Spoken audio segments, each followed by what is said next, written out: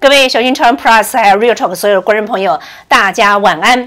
在这个晚上的时刻呢，又是一个礼拜一的开始。你知道这一周呢，呃，立法院又是重中之重，因为礼拜五要处理是国会职权，呃，国会扩权、国权或者是国会职权修法的一个复议案。目前为止，我们知道多个公民团体在今天已经宣布，整个青鸟行动要重返立法院。因为从后天星期三开始，连续三天，今天的公民团体所召开的记者会当中，他们呼吁什么？呼吁公民呢，依照这个身份证的字号的尾数来立法院外来排班参加，警告。国民党拒绝民主倒退的公民论坛，他们预估呢，每一天将会超过一万人来参与这次立法院。因为超越决定在十九号、二十号要召开的是全院委员会，特别邀请到在立法院当中邀请行政院长卓荣泰列席来说明复议案。而在礼拜五二十一号当中，记名投票表决的复议案，包括我说，呃，公民阵线，还有经济民主联合等多个公民团体，他们认为青鸟行动。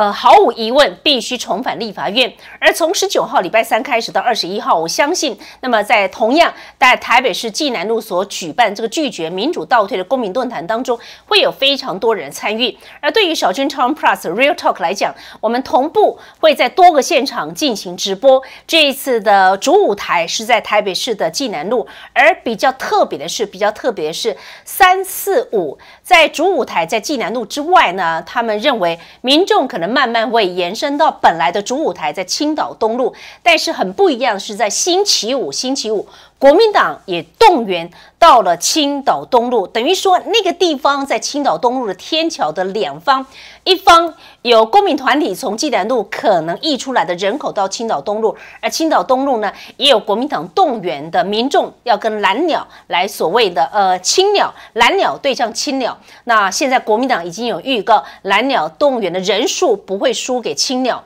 但是我看到台呃呃以台湾来讲，公民阵线的执委呢赖中强认为，呃相对于在五月份青鸟的动员，他们现在呢，他们现在这次青鸟行动是邀请上班族。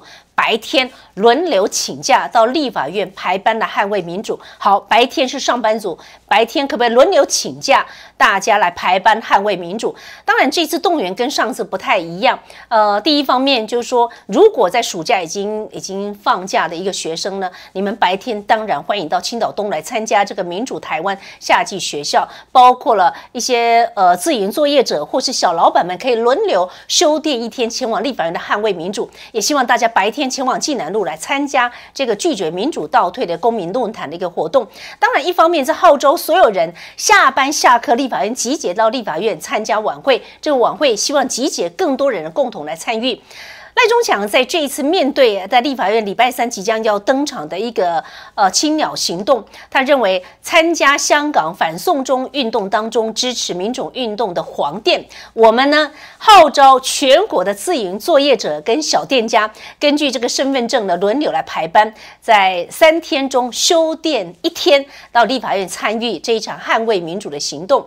那身份证尾数呢一二三四的自营作业者呢，请在六月十。九号礼拜三的白天前来，那身份证尾数呢？五六七的自营作业者，好，这些小店家五六七的自营作业者也请六月二十号在星期四的白天前来。这位身份证的尾数是八九零的自营作业者也欢迎在六月二十一号白天前来。好，我们看到立法院对于小军创 Plus 来讲，我们从星期三会全程进行转播，一直到星期五，这个是关键性时刻。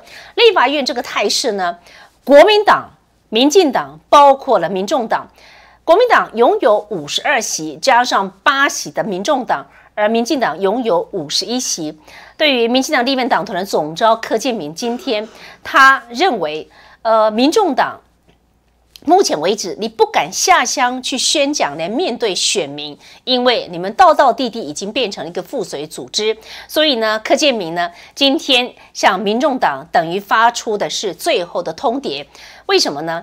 他认为。国民党、民众党，呃，合作之后呢，其实民众党已经俨然变成了小蓝，盖瓜承受了就是花莲王国民党立院党团总召傅昆萁的所有所有的言行，你们盖瓜承受，包括了傅昆萁受中国的指示、受中国的统战，联合卖台。民众党都必须要改国承受。所以柯建明批评民众党党主席柯建明，你窃取了台湾民主先贤蒋渭水的党名，却是倒行逆施，呼吁让民众党内的民主萌生发芽、成长重生。他呼吁柯文哲，你让民众党的。党员可不可以在党内民主萌生发芽、成长重生？也就是说，让民众党党员可不可以放他们自由？而关键真的就是在礼拜五，立法院在礼拜五，因为针对行政院所提出的国会扩权的复议案进行表决。这个复议案在星期五进行表决，当然非常关键。柯建明认为。不知道如何解释蓝白共体的毁宪乱政、无限扩权的假改革，这个内容的恐怖超乎所想象。而身为民众党的党主席的柯建明，还有民众党立院党团的总召柯建明，你们看到不管是民进党跟国民党下乡来宣讲，这个时候却看到的是民众党完全不敢面对选民小草。还有多少没把握？面对白粉、昌粉时，既然都已经是附随组织的小蓝，如何自圆其说？柯建明认为，当国民党跟民众党合作之后呢？民众党已经变成小蓝了。而在傅昆萁的眼中，其实当黄国昌变成附随组织的副小弟，在傅昆萁的眼中，你只是表决的一只手而已，完全盖瓜承受了花莲网所有的言行，跟他。呃，背后接受中国的指示跟统战，民众党在国会当中以选民的角度，你毫无自主性，而总招是姓傅，不再是姓黄，这不是联合卖台，什么才是联合卖台？所以今天柯建明认为柯柯文哲你在哪里呢？复归柯批水吗？而在呃，民进党很多立委的想法，黄国昌一路配合立法院长。韩国与、花莲网没收了委员会，包括朝野协商，包括了议长排队摸头占领主席台举手表决等等，不让民进党发言，违反直选行使法，包括程序正义，这是三十五年来空前所没有的现象，三十五年来仅见。而现在的无限的扩权，包括滥权的反改革，一路盖牌强压过去，看起来很威风，但是只是在。一场当中直播展现你的脸庞，其实其实你是在一场帮中国搜证而已。所以，我们看到今天的确大家在期待，以柯建明身为民进党立院党团总召，他当然认为此时此刻的民众党，包括身为党主席柯文哲，你应该想一想。即使蒋介石在世时，老李伟的时代，老李伟时代也不敢如此的公然卖台。而柯建铭当然细数在国民党跟民众党，你们在这一个过程里头，无限的扩权、滥权、没收国会、没收啊宪法、没收民主的过程里头，让整个国会香港化。而国会香港化，台湾也面临到香港化的危机，因为这一切呢，配合了花莲王接受了中共全国的政协主席王沪宁密会，交办在台湾配合统战、联合卖台，这是青鸟起飞、民意反扑的关键之所在。而柯文哲，你对不起蒋渭水。柯建明认为，蒋渭水百年前所成立的台湾民众党，唱演的是什么呢？当时蒋渭水在百年前所成立的台湾民众党，他要的是。言论自由，他要是台湾第一，他要是台湾优先，追求民主。而现在呢，身为民众党，身为柯文哲，你窃取了他的党名，却是倒行逆施，在花莲王领导之下，蓝白合作出卖台湾，你如何对台湾的人民交代呢？好，这是对于柯文哲跟黄国昌最后的一个通牒，呼吁他回头是岸，不要再语无伦次、胡说八道。小草真的会买单吗？好，难道民众党跟柯文哲存在的价值是什么？难道成为小蓝是你们存在的价值吗？那就干脆直接并入国民党不就好了？不要再妖言惑众了，不要再破坏价值，不要再欺骗善良的台湾百姓，这才是台湾人民之福。好，这是一个立法院的最新的态势。因为如果当柯文哲跟黄国昌走入了不可逆的政治终点，要不要提早下课，让民众党的党内民主可以因此可以成长，可以重生？我们也知道，在礼拜五，对于所有观众朋友，呃，小军超 Plus，我们同样要全程转播。同时，因为行政院提出的国会改革法的复议案当中，要在礼拜五再次进行表决。国民党这一次也号召动员，传出呢，已经商请区域立法委员动员支持者，在复议案表决当天，也就是在二十一号的星期五，要让。群众面对群众。今天包括了国民党立法委员都说了，已经有很多人自发性要前来，他们有把握在礼拜五当天的人数一定可以把青岛东路给挤满。呃，当然，我们也知道，我刚刚说多个公民团体今天已经也同步举行记者会，青鸟行动重返立法院。你可以想见，在基南路的这一方。有青鸟行动重返立法院，而在青岛东路这个地方，也有国民党进行动员，而且国民党宣称的是群众面对群众。对于公民团体来讲，他们现在依照身份证的字号，包括了自营者，呃，这些小店家，可不可以在三天当中至少有一天你们是请假的？他们预估每一天将会有一万人来共同参与。好，这是立法院在未来可面临的状况。接下来，呃，小军也跟你分享。讲几则特别重要的新闻。一个中国男子，前阵子我曾经为你分析，那么这名男子的驾船偷渡这个案子呢，台北市地检署今天提讯向法院申请他羁押禁见。姓阮，中国籍的这个阮姓男子，他是在六月九号驾了一艘船偷渡来到台湾。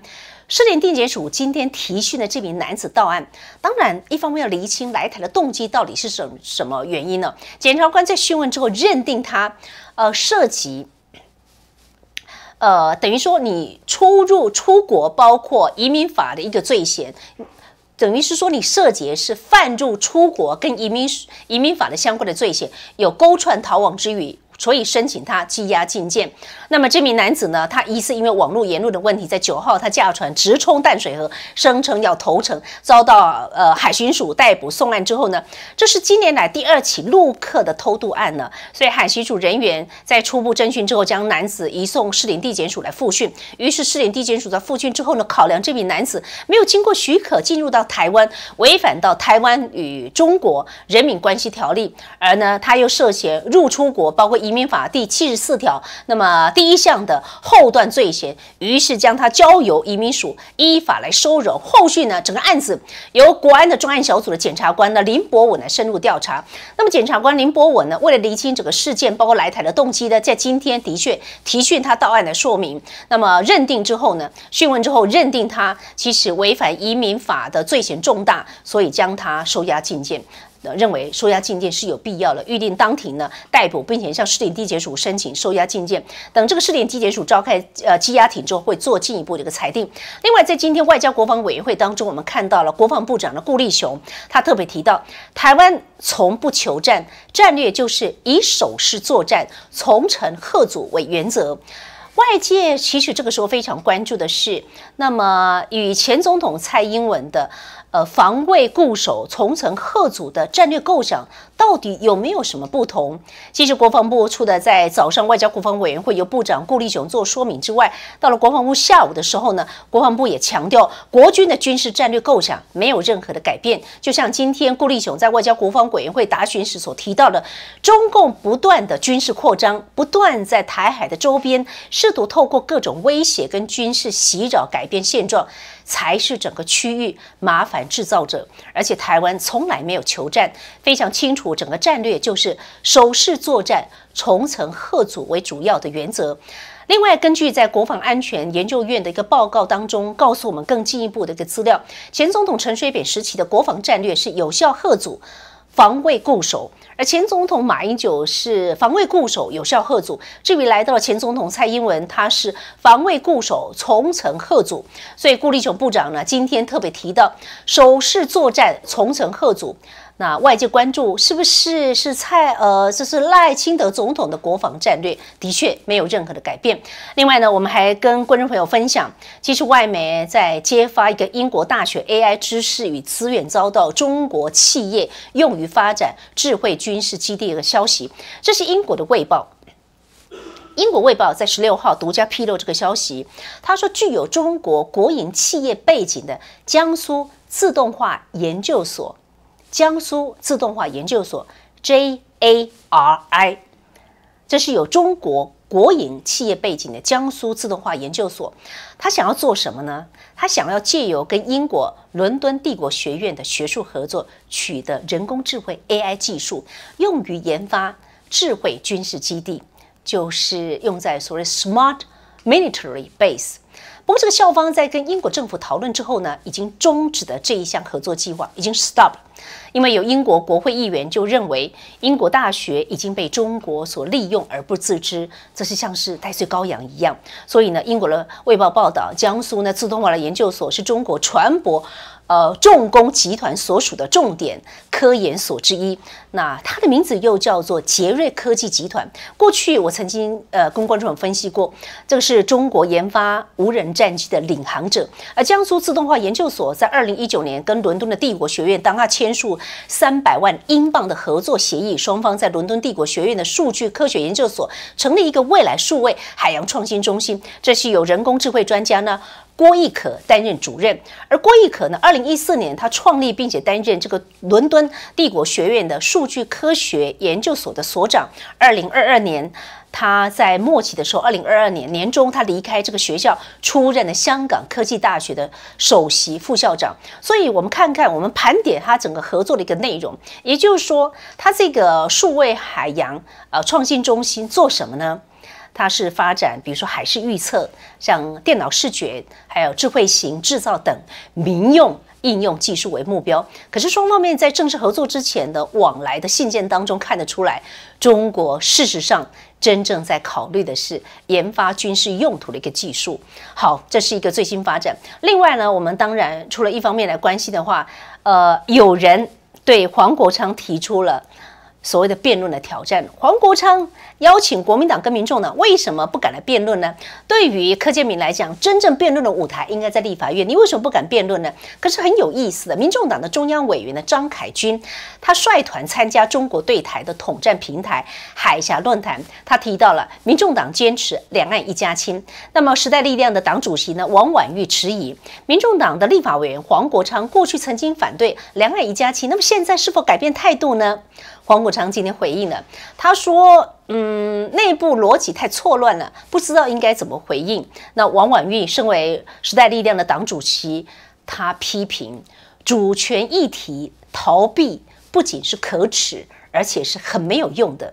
黄国昌，你到底在怕什么呢？你敢不敢辩论呢？另外呢，波特王，这是 YouTuber 网红。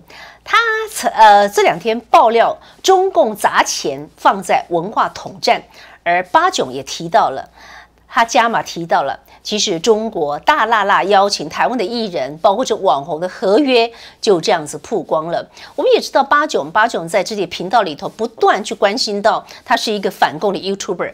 他在他最新的影片当中，更是很明白的告诉大家，我拿到中国统战艺人网红原版的合约了。根据八本八九的一个内容，中共借由这个北京的慈光。影视传媒有限公司的名义，向台湾的艺人跟网红发出两份合作公告跟合约书。这个文件当中透露了目的是什么？如何统战台湾？所以八九很不客气的说，他收到这个合约的一个版本呢，跟这个何以奇公开的版本几乎是一模一样。好，这是值得注意的现象。砸多少钱？我今天在一个公开场合当中跟观众朋友分享，跟一个外媒，这个外媒呢，他决定在台湾要驻点。那为什么他决定在台湾驻年？这家外媒，我现在呃不透露他的原因。也许小金超人 Plus 跟这一家来自于美国的外媒，我们有进一步的合作。他的想法跟我想法是十分的雷同的。他都意识到，台湾现在面临到非常关键性的时刻，而台湾许多的观点必须要输出到全世界。因为台湾的现状必须要让全世界更了解，更重要的是，台湾应该透过跟媒体之间的强势合作，让台湾更多的民众了解此时此刻台湾的处境。有时候我们会有一种感觉，当局者迷，但是旁观者清。现在，呃，决定常驻在台湾非常多的媒体，反而可以意识到台湾的处境，慢慢走向了香港。国会香港化，台湾也香港化，而中国渗透到台湾，我刚刚特别提到文化，还有政治，包括到地方，几乎全面性的，这个是我们应该要用什么样的方式要让更多人知道台湾面临的处境。这些小军超 Plus，身为小军姐，在这个频道当中，不管经营再怎么辛苦，我们都必须要扩大它的影响力，因为这是当前台湾最重要的事情。而在最后，我跟你分享一个在今天在澳洲的最新画面：中国的国务院总理呢李强今天跟澳洲总理呢艾班尼斯会晤，呃，人权团体呢齐聚在哪里呢？在澳洲的国会大楼前，他们集体抗议。中共对西藏、对新疆、对香港与法轮功的人权破坏，这些人的抗议的目的是希望澳洲政府你必须坚守民主价值，不能够为了短期的商业利益放弃核心价值。这是李强在昨天傍晚抵达了坎培拉，他的车队所到之处，包括下他的饭店都抗议。包括有欢迎的民众聚集，他今天抵达这个卡梅拉的国会大楼呢，跟这个艾班尼斯会晤时，澳方是以礼炮二十一响来迎接，数百个抗议的民众跟欢迎的民众全面聚集在这个国会大楼前的草坪，澳洲派出大批大批的警力来戒备，组成了人墙。呃，将抗议跟这个欢迎的民众来隔开。当然呢，呃，试图要嗯，要让不要有任何的状况发生，因为试图要阻止另外的民众冲到另一方。虽然两方人马有几次碰撞之后呢，并且也是以麦克风来对骂，但是抗议的群众包括有西藏人、有维吾尔族、有港人、有法轮功、有诉求中国民主相关的人权团体。他们从雪梨、从墨尔本、从坎培拉不同的城市来到这个地方。他们来自于不同的城市，但是目的都是要抗议中共对西藏、对新疆、对港人的人权破坏。好，今天小军姐在六月十七号，在星期一的晚上八点钟就跟你分享到这个地方。时事在变动，台湾的核心价值不应该有任何被挑战的可能性。但是关键性，守候让台湾维持现状，让台湾可以长保我们的自由，是你我。有所关心的，谢谢锁定小金团 Plus，也谢谢所有在线上的观众朋友们，再会了。